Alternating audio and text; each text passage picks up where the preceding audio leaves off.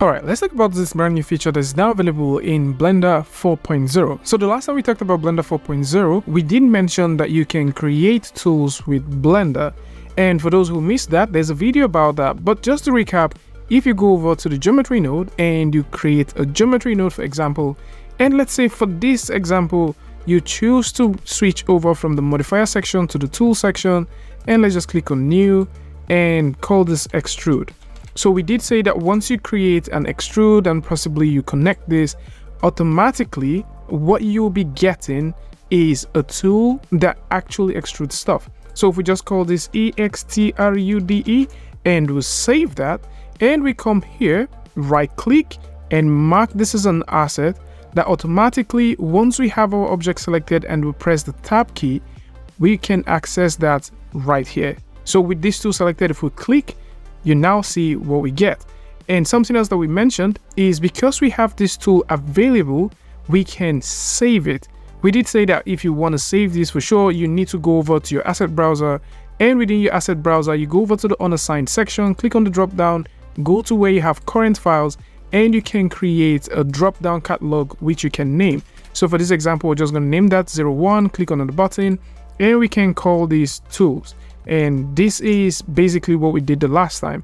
And because we have that there we can now right click and mark this as an asset which has been done before. And we can drop that under tools.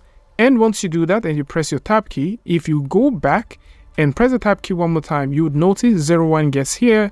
And you can see the tools down here. So we can go there go to tools and click on extrude and extrude this one more time. Now because this tool exists, you can use this for every other object that you have. So in this case, if you go over to your cone, for example, and you go over to the edit mode, you can go over to that menu you just created and create more extrusion. Now, this was what we mentioned that you can create tools. But something that we missed to talk about, and again, a huge shout out to Jacques Lucke for demoing this and making us know about it. So what we didn't mention then is, despite the fact that you can create tools, you can actually create your very own modifiers. Look at that. So with a brand new scene open, what we need to do is go over to the geometry node. And for example, let's say we would like to create a voxel tool. So I'm just going to go in and create a point to curve, all right, a point to volume actually. So we can get a point to volume and from the volume, we can do a volume to mesh. And in this case, we have just created a voxel tool. So what this means is you can now plug in anything. So if I go in and get an object info and say, you know, we would like to plug in whatever. Let's just go in and get Suzanne and drop Suzanne right there. And with Suzanne the monkey there, if we go over to the cube section, if we select from the section where we need to add an object and select Suzanne, automatically you can see that. So the question is, how do you convert these to become a modifier that you can use, reuse all the time? And how you can do that is simple. Go over to the group input and then you can plug in this particular object info and for example, we would like to get some density in there, the voxel amount, we might want to get the radius, you know, whatever value you want to have access to, you can just go ahead and plug it. Now with this here, I'm just going to call this voxel, okay? So let's call that voxel, put an underscore and say tool. All right, so we have a voxel tool now. If we right click and click on mark as asset, automatically we have just created a modifier.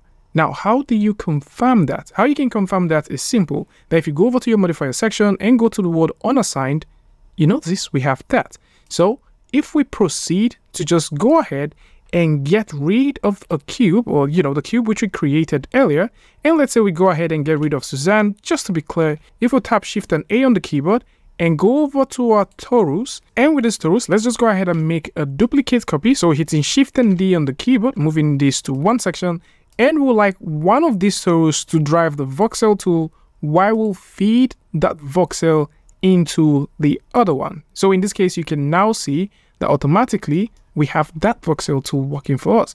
So it doesn't matter if you're creating multiple tools. What you can now do with this is instead of setting up your geometry nodes all the time, you can now save them as modifiers inside of Blender. Now let's go ahead and take a look at something else. So in this case, we're also going to go ahead and get rid of these two. I'm just going to go through and get a simple plane. What we want to do with this plane is absolutely simple. Maybe we'd like to create a scattering modifier. So with this, what we need to do is click on new just to create a new modifier within the geometry nodes and we can plug in some stuff. So first off, we might say we would like some mesh to point, okay? So that is like the very first thing.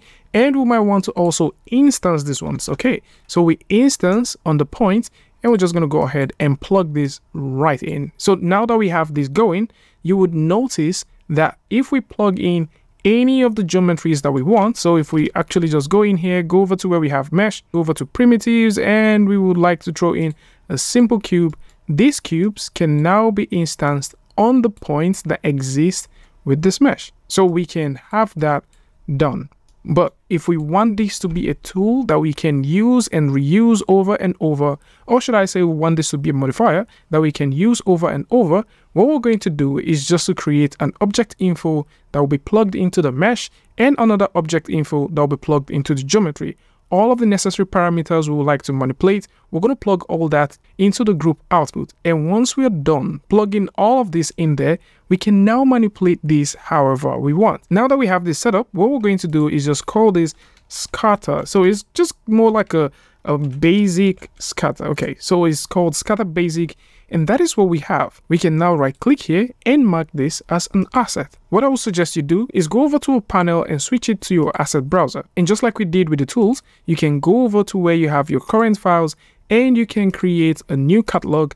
I'm just to call these my mods. Okay, so that's just to be a name that I kind of like. And we can also call these tools, you know, whatever you want, you can name it and you can go over to where you have your unassigned, grab these, plug them into your tool section and there you go. So in this case, you can switch over to your layout and at any point in time, you have multiple tools you like to drive certain things, you can do that. If we hold down Shift and tap on the keyboard and we go over, say for example, the icosphere, so we can have that and we can also bring out something. So let's say we would like this to drive the modifier, which is a simple plane. So what we can do here is to go over to the modifier section and now you can see my mods. Now under my mods, you notice we have the tools and we can play with any of the tools we want. We did the basic scatter, so we can throw that in and we would like that basic scatter to be driven by the sphere. Now at this point, we might also be needing another mesh. So in this case, I'm just going to get the cube in. Let's just scale that down, select the plane and this is the object we would like to scatter across the sphere. So we go down, select the cube, and that way you would notice that we have this scattered all around. So we can have everything selected, tab 0.2, and that way you can start seeing that. Actually, let's reduce this even more, 0.05, and you can see it. So in this case, you now have all of the abilities to start reusing your modifiers over and over. Now, is this something that you would like to play with? That is totally up to you. Depending on how much you want your geometry nodes to be used as modifiers or how much you would like to reuse certain geometry nodes, you can actually sort these things out, save them up as modifiers, and start using them. More so, if they are basic geometry setups that you really want to use, you can also save these things as modifiers and use them as much as you want. The idea that you can create modifiers now and you can create tools that you can use without writing a single line of code by just simply using geometry node is amazing. These functions and features used to exist only for Houdini and it's pretty interesting to see that it is now here. And speaking of which, there is a Google form in the description, so just in case you're into geometry nodes or probably you want to create some interesting stuff, you might want to go through the link in the description and check out that Google form. Tell me what you guys think about this one in the comment section. Amazing stuff right here and you should definitely try them out. And of course, if you like this video or you learned something from this, you can go ahead and give a like and don't forget to share with a friend. And until I see you guys in the next one,